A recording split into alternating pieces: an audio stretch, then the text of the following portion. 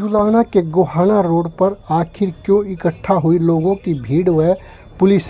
जी हाँ दोस्तों, हम बात कर रहे हैं जुलाना के लेजवाना कला गोहाना रोड की, जहाँ पर काफ़ी मात्रा में लोग वहाँ पर इकट्ठा हुए।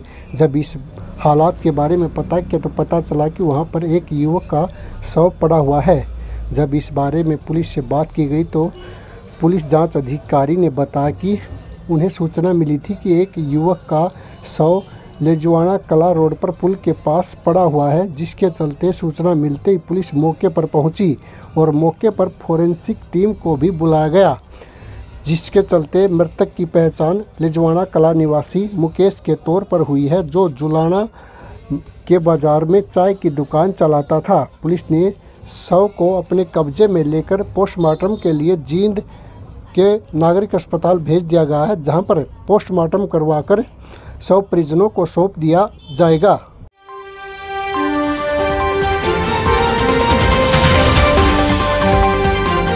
आई थी भाई, जुलाना बाईपास के जमुना रोड पर एक डेड बॉडी नाला के अंदर पड़ी है। इस सूचना पर पुलिस मौका पर पहुँचा और उसकी शनाख्त करवाई मुकेश पुत्र होशियार सिंह लेजवाना कला का रहने वाला है, ये चाय की दुकान थी जुलाना के अंदर। कल ये परसों दोपहर बाद घर से आया था और वापस नहीं गया चोटों के निशान थे, हत्या का मुकदमा दर्ज करके थाने बीन कर दिया। फ़िलहाल परिवार वालों ने किसी पर कोई शक ज़ाहिर किया नहीं, ना कोई सुनाई।